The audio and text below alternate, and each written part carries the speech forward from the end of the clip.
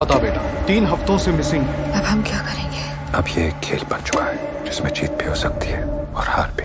दो अक्टूबर को सैम तुम्हें मिलने तुम्हारे घर आया था? नहीं तो?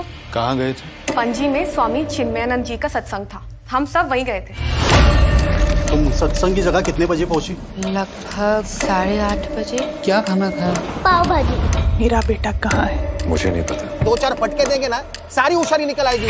क्या क्या तुम लोगों ने सैम के साथ? बोल हम जो कर रहे हैं वो गैर कानून और मेरे बेटे का क्या? उसे कौन ढूंढेगा? बता सच क्या है?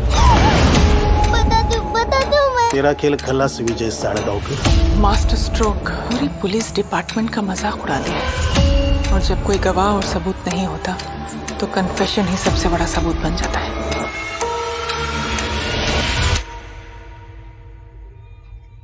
मेरा नाम विजय सलगांवकर है। और ये मेरा कन्फेशन है।